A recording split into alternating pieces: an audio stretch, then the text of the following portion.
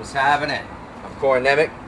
I'm here at OG Risk Studio outside of his RTD bus, professionally and officially bombed by OG Risk, one of the dopest graff artists on planet Earth.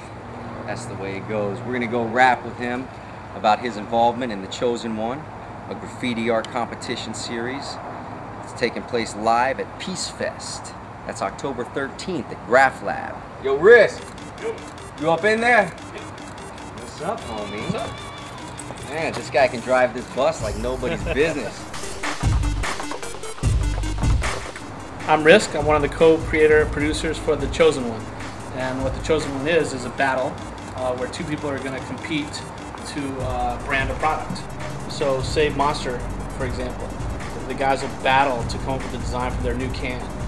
So it's really cool because there's a specific criteria that we can judge and there's a clear-cut winner.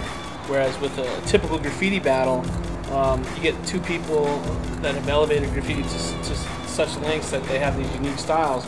It's really hard to say whose style is better. You know, it's all in the eye of the beholder. Yeah, yeah, yeah. I agree because that, that was always for me. I mean, I've uh, uh, I've gotten to see a number of battles over the years at, at different graffiti yards, and and uh, and for me, I, can, I you know unless somebody just comes super whack, Yeah. you know, for me, there's never really a clear cut winner anyway, and it's Yeah. always it's always a debate on the streets. Me and you were talking earlier Yeah. about the Hex and Slick battle. You know, in this in this case, uh, uh, we can kind of like eliminate that debate a little bit Right, right. and uh, and and simplify it down to its bare essence of, of having to use your artistic talent to brand a product the best that that, uh, that you can. It's Piece Fest, P-I-E-C-E.